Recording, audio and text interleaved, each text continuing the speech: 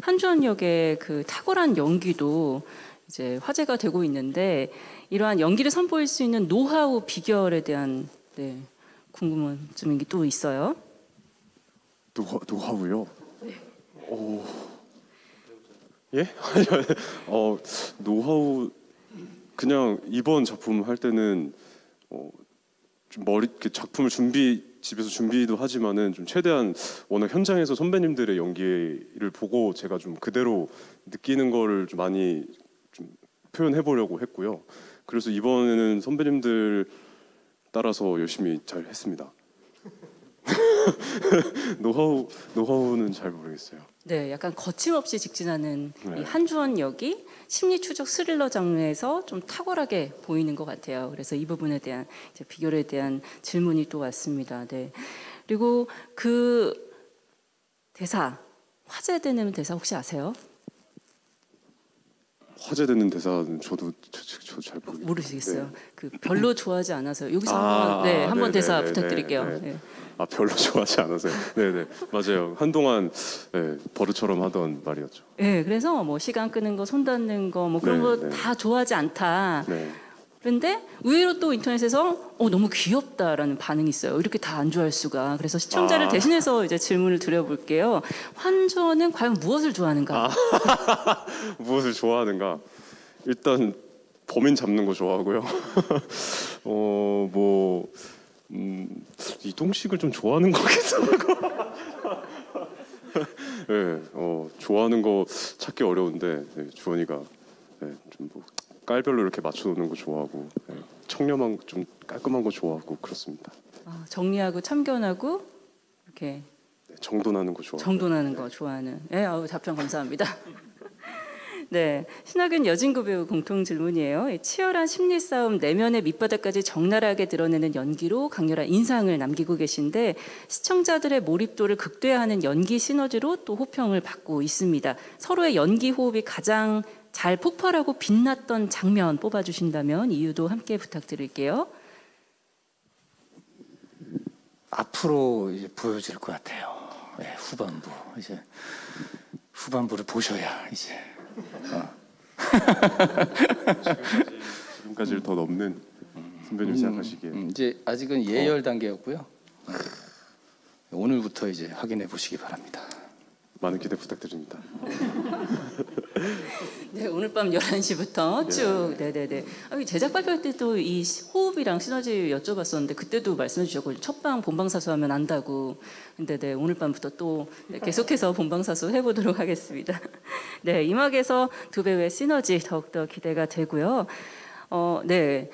벌써부터 그야말로 시청자에게 강렬한 임팩트를 남기면서 눈도장을 제대로 찍은 최대훈, 최성은, 이규회 배우님께 질문을 이제 드려볼게요. 먼저 최대훈 배우님, 매 작품 연기 변신을 이어오면서 호평을 받고 있습니다. 괴물에서는 어딘가 모르게 비밀스러운 박정재 역을 맞아, 맡아 열연을 펼치고 계신데요. 지금까지 맡아왔던 캐릭터와는 결이 다른 인물인 만큼 어디에 주안점을 두고 연기를 하고 계신가요? 네, 우선 어, 매 작품마다 연기 변신을 이어오고 있다는 호평을 남겨주신 천사님들 혹은 천사분께 어, 무한 감사를 드립니다. 아, 너무 과찬이신데 또 용기 얻고 열심히 하겠습니다.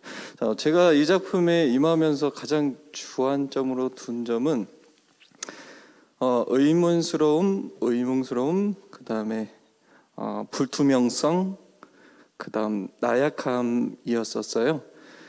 어, 그 중에서 가장 중시 제가 포커스를 맞추려고 애썼던 건 어, 나약함이었던 것 같습니다. 어, 제가 이 작품에서 어, 맡아야 할 목, 그 다음에 해내야 되는 기능 같은 것들 중에서 그것이 가장 첫 번째가 아닐까라고 개인적으로 판단을 해서 어, 그것을 메이드하는데 어, 노력을 많이 했던 것 같습니다. 무척 어려웠었어요. 말씀하신 대로 기존에 제가 해왔던 것보다는 좀 뭐랄까 그 이전 것이 쉬웠다가 아니라 이번 것이 특히 더 어려웠던 것 같아요. 저조차도 무언가를 명확히 알고 있는 존재가 아니어서 그거를 과연 어떻게 설득력 있고 도- 어, 넘치지 않게 표현할 것인가 그게 가장 어렵고 가장 중시 생각하고 많이 준비한 부분인 것 같습니다. 네, 그게 고스란히 잘 전달이 되고 있는 것 같아요. 그래서 더욱더. 기대가 네, 되고 있습니다. 네, 감사합니다. 이어서 최성은 배우께 또 질문을 드려볼게요. 유재인은 어머니가 실종된 이후 마냥 정육점을 지키고 있는 인물입니다. 칼의 달인이라는 별명을 가질 정도로 뛰어난 실력자, 능력자인데요. 유재이라는 캐릭터를 만들기 위해서 특별히 준비하신 거 있는지? 어, 일단은 제이라는 인물 개인의 서사에 대해서 좀 이해하고 부족하겠지만은 좀 최대한 공감해 보려고 애를 썼던 것 같아요. 왜냐하면 제이의 삶 속에서 겪었던 일련의 사건들이 너무나도 사실 제가 감히 공감한다고 말할 수 없는 정도의 큰 사건들이었기 때문에 그것들을 최대한 이해해 보려고 하는 그 과정이 조금 힘들지만 그런 것들을 좀 최대한 차근차근 밟아 가 보려고 했었고요. 그리고 마냥 정육점을 이제 홀로 운영하는 제이이기 때문에 또 이제 칼의 달인 이렇게 이런 문구도 있고 이래서 실제로 마장동에 가서 정육을 한 어, 오랜 배우진 못했지만 그래도 한동안 좀 열심히 가서 칼질을 배우고 그랬습니다. 힘들진 않으셨어요? 어려운 점이나? 어, 아 이게 재밌더라고요. 칼 칼을 쓰는 게 아, 사실 저는 처음에는 되게 어, 내가 과연 할 수 있을까 싶었는데 이게 칼의 맛이 있더라고요. 그래서 아, 진짜로 그래서 어 아까 아무 생각이 없어지면서 그 칼의 맛에 약간 그걸 알고 난 후부터는 그게 그리고 되게 새벽 일찍 나가야 돼요. 거기 거기 출, 그 축산 시장에 계시는 분들이 엄청 하루를 일찍 시작하시는 분들이라 막 새벽 4시, 5시에 가고 그랬는데 어 그거를 하다 보면 아 일어날 만하다 약간 이런 생각 새벽에 일어날 만하다 싶을 정도로 좀 재밌게 했던 것 같아요. 어, 재미가 있나 봐요, 그게. 그 칼의 맛을 알게 아, 되면 그래서 괜히 타, 칼의 달인이 아니에요. 네, 좋습니다. 네, 제작 발표회 때 심나영 감독님께서 최대은 배우, 최성은 배우를 주목해야 할 인물로 선택을 해주셨어요. 혹시 그 인터뷰도 보셨어요? 제작 발표회 때? 예. 아, 아, 아, 아, 이게 나오고 있나요? 네. 예, 봤고요.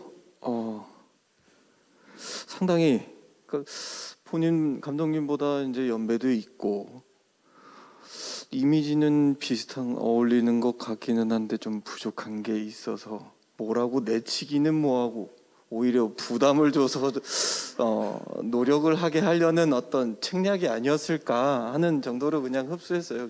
너무 감사한 표현이었었고 너무 과한 표현이었고 지금 뭐 이 기회를 빌어서 진짜 이 역할을 주신 저 감독님들 혹은 관계된 분들한테 너무 감사드려요.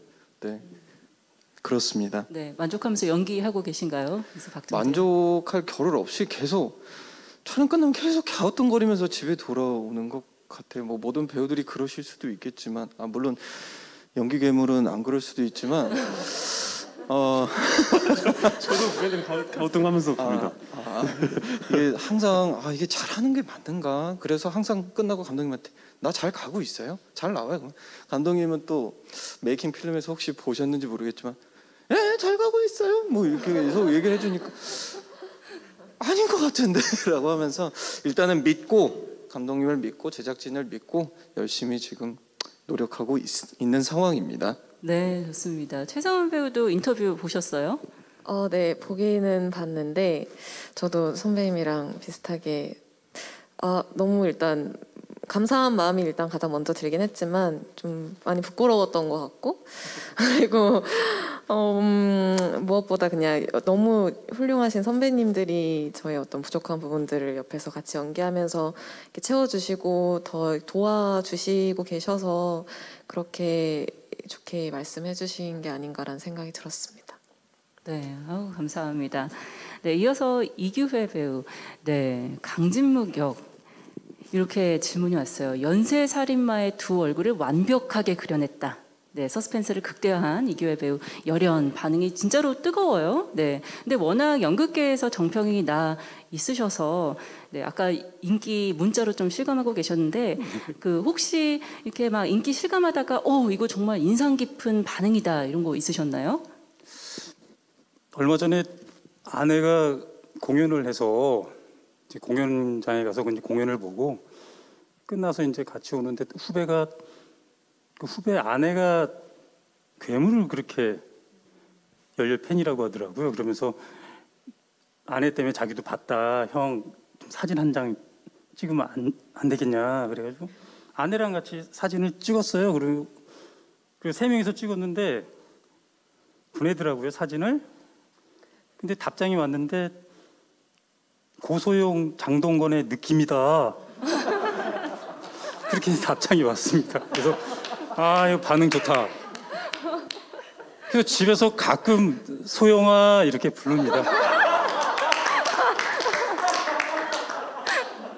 그럼 화답이 동거나 이렇게 오나요? 음, 그러면 답이 동거나 이렇게 부르시나요? 쑥스럽게 동건 씨. 네, 반응이 정말 뜨겁습니다. 네.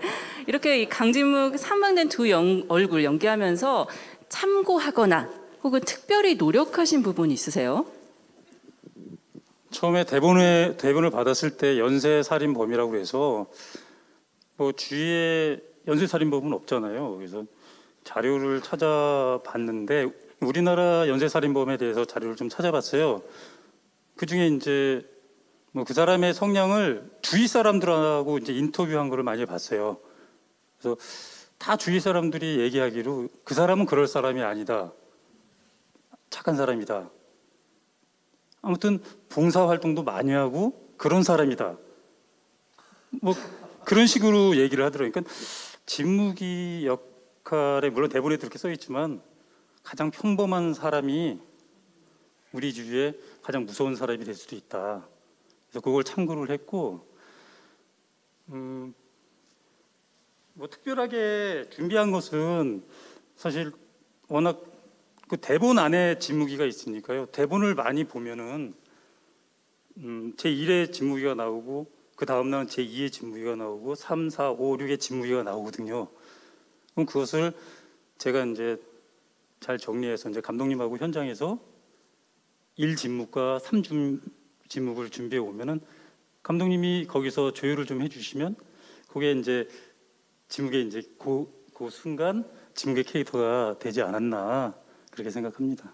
네, 아, 워낙 착하고 평범한 사람이 또 무서운 사람일 수 있다 그랬는데 주변 사람은 아셨어요 이 비밀을? 비밀 유지하느라 아, 힘드시지 않았는지. 스포가 되기 때문에 말을 못했고 지금 내가 범인이 밝혀진 게 얼마나 다행인지 모릅니다. 아, 속이 시원해 죽겠어요. 어, 그럼 그 비밀 유지를 하고 계셨던 거네요. 예, 계속 했죠. 네. 어, 드라마 처음이시라고 들었는데 맞나요? 네, 드라마 처음이에요. 네, 이 연극 무대와 또 다른 드라마의 매력은 또 어떠신가요? 어, 연극은 두 달 연습을 하고 이제 그 공연을 이제 시작을 하는데 기승전결이 두 시간 안짝에 다 보여줘야 하니까 긴 호흡으로 다 끝내고 관객한테 바로 바로 어그 그걸 뭐라 그래요? 어? 피드백과 바로 느낄 수 있게끔 뭐 쉽게 얘기해서 뭐 배우는 피부를 한다고 그러는데 그걸 갖다 느끼게 만들어 주는데 이 드라마 같은 경우는 뭐 카트에 카트 카트 카트가 해가지고 이제 한 드라마가 되잖아요. 한 근데 그 짧은 컷이 스텝 배우 촬영 감독이 뭐 집중을 쫙 하게 만드니까 거기에 나도 모르게 이게 빠져들어서 이렇게 집중력이 좀 생기는 것 같아요. 그래서 그 매력이 아주 최고 최고이지 않을까 이렇게 생각을 합니다. 아, 그래서 또 다른 또 매력 예, 속에 예. 아, 네, 좋습니다.